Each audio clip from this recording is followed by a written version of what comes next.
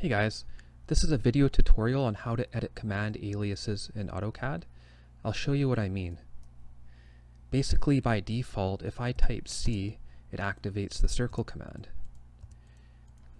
I have to type CO to activate the copy command. In a given day, I use the copy command way more than I use the circle command. What we're going to do in this video, I'm going to change my circle command from C to CI. And then I'm going to change C to copy. To do that, we have to go to our PGP file. So go to the Manage tab, click Edit Aliases, click this button, and this opens a notepad file.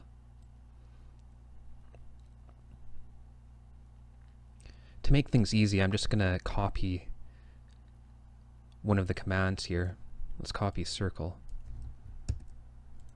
I'm going to scroll all the way to the bottom of this file. If you want a bit of insight into what we're doing, you can read this paragraph.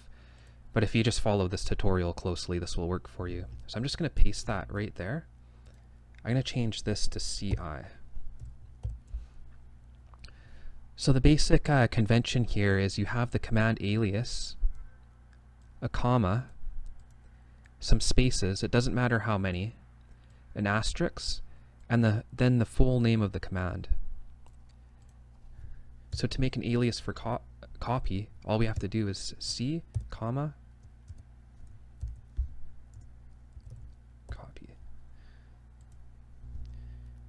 We save this file, close it. Now you notice the command alias isn't updated yet. If I type C, it's still circle. So I'm going to teach you a command that will prevent you from having to close and open the drawing or restart AutoCAD. It's re-init. Check this box right here and click OK.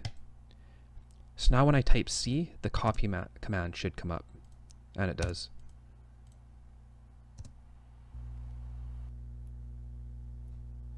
So to help you get the hang of this, I'm going to show you how to add one more command alias. This one's going to be really useful as well. So we go into Edit Aliases, scroll to the bottom. I'm going to make SS my command alias for a command called select similar.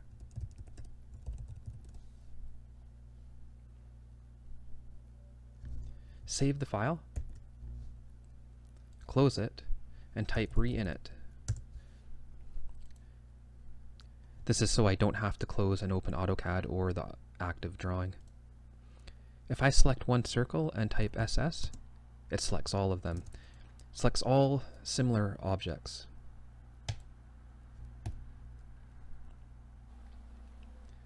One important thing to note about editing command aliases, especially if you work in an office, you have to make sure that your PGP file is on your local computer's hard drive, not on the server. It's beyond the scope of this tutorial. You'll have to ask your uh, AutoCAD manager or server administrator, but that's just one thing to keep in mind before you edit aliases. If you want to find out where your PGP file actually is, if we go to edit aliases, all you have to go to do is file save as. Don't actually save it. Just see the folder that opens up when you click save as. That'll tell you where this PGP file is. So there's some easy ways to fix that if, if you have a central PGP file located on the server. This is important because if it's a central file, it means everyone is using the same PGP file and that means when you edit an alias, it'll edit everyone's aliases. So you'll have to be careful of that, but only if you're working in an office.